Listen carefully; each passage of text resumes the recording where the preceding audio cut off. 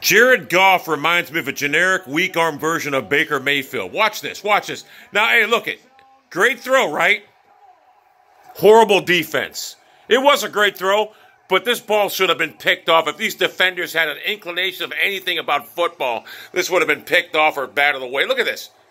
How do they not take this?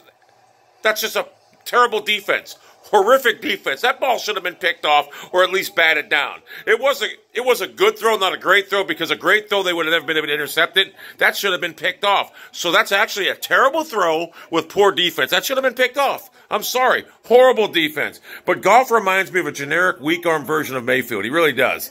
He doesn't have the strongest arm. He goes out there, he moves around good, but uh, I tell you what, this Rams team is tough. The Vikings were already ripped off a touchdown. Thielen scored. He never got touched. They should have ever fucking blew the play down.